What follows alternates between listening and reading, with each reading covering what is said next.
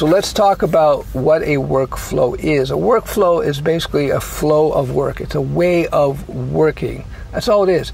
Workflows can be on the code end of things. So, for instance, if you're doing web apps, as an example, you would set up the way that you would start all your projects. So you don't have to sort of think about how you're going to do it. That's why the nerds invented web frameworks. So Python, they have Django and Flask, and PHP, they have Laravel and Cake PHP. For PHP, I would use Laravel. For Python, I would probably use Django. May might use Flask depending on the project.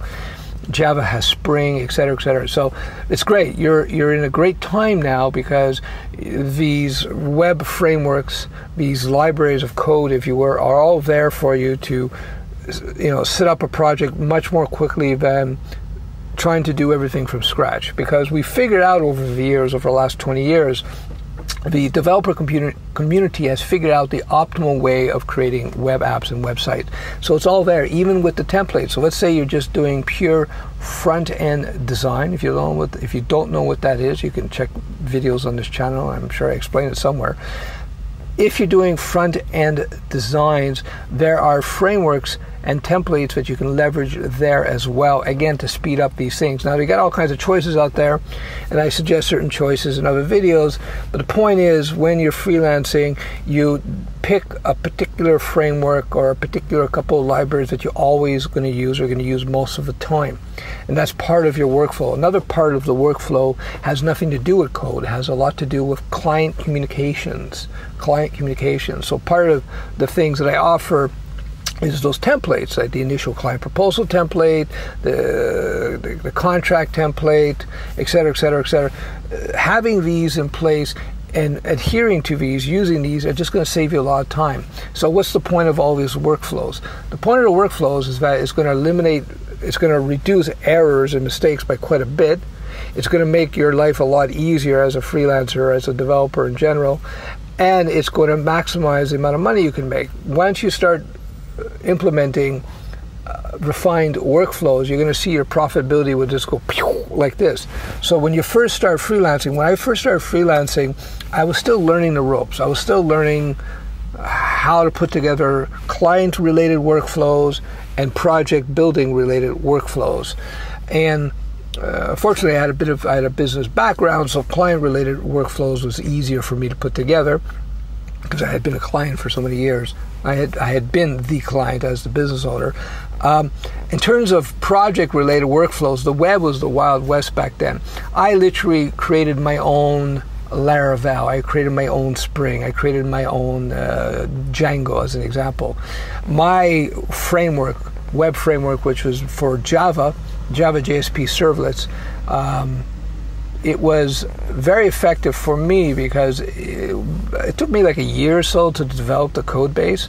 But then all my projects were based on this framework. And it was based on the 80 20 rule. The 80 20 rule tells you that uh, 80% of the work is found in 20% of the, of the stuff that you have to do. Let me, I'll restate that. 80% of your time on a project is in 20% of the things that you have to do for a project. You're going to see that over and over again. If you do the detailed time tracking that you should do for every project, you're going to find that, you know, it's always this that takes up most of the time on the project. This like narrow 20% of the job, however you classify it. Usually it's the database interactions with a lot of apps.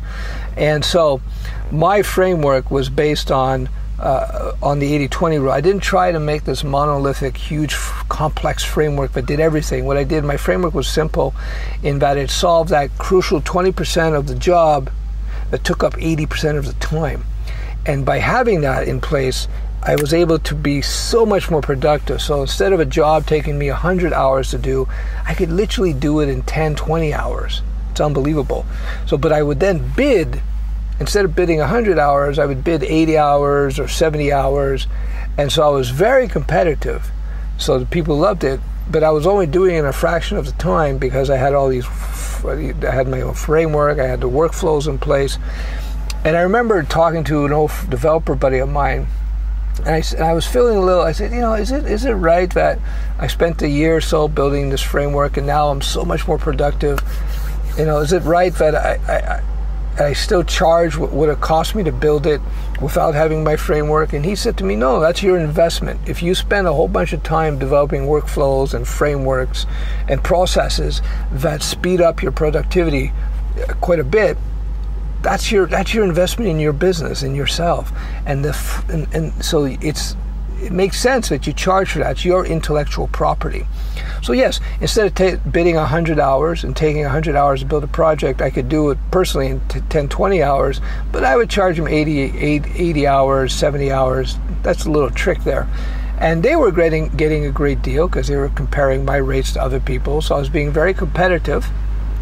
And at the end of the day, by using the framework, as it turns out, my code base was even better my code base was even better. So that's a huge, huge advantage of uh, what's going on here. That's a huge, huge advantage of developing workflows. You make a lot more money, you do a lot more work in less time, much less headaches.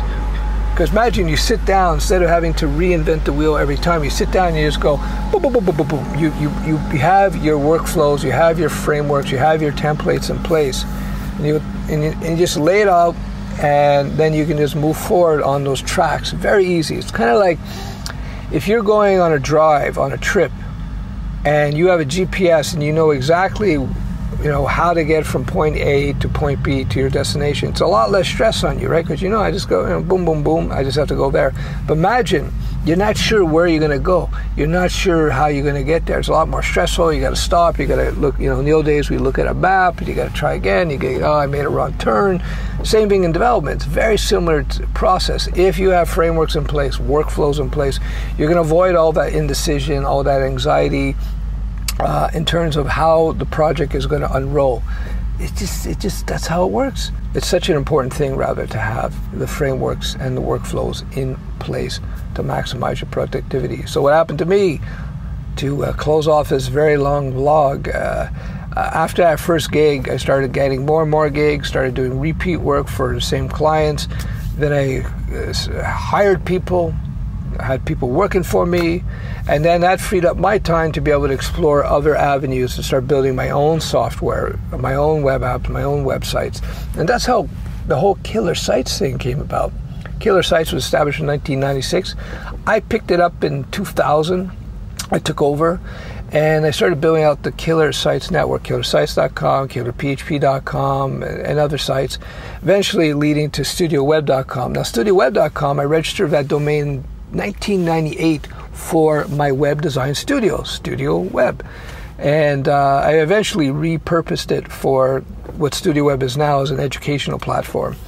And uh, this was all made possible via learning to code when I was even planning to be a coder, and then becoming a freelancer, which was is a great way to get into business because it teaches you business processes. There's no major cost of getting into it, and then it allowed me to f- make a lot of extra money and free up time so I could start building out uh, another business. Now, f- don't think that freelancing is just a stepping stone. A lot of people freelance their entire career, lawyers and doctors and dentists, they're essentially freelancers. And you got a lot of developer freelancers and high end UX freelan- freelancers and UI freelancers. And that's their career, and they make a lot of money. You can make much more money as a freelancer than you can working for somebody, no doubt. Just think of it this way, and I won't go into any more details because this vlog is getting pretty long.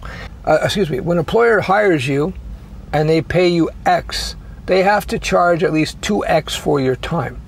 So if they're charging, if they're billing you out at $100 the hour, I'll just depending on where you live, it could be ten dollars if you're in a third world. It could be hundred dollars in different. If they're billing you out, meaning they're selling your time at a hundred the hour, that means they got to make 200 the hour. Um, let me let me let me rephrase that. If they're paying you the equivalent of 100 the hour, I'm using round numbers to make it simple.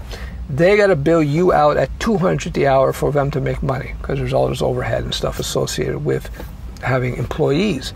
So that means you as a freelancer should be able to bill at the rate that your employer was billing you out. That's the $200 the hour, if that makes sense. So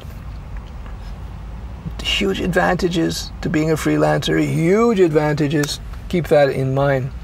All right, I think I'm going to go explore around, see what's going on in this park. Bye bye.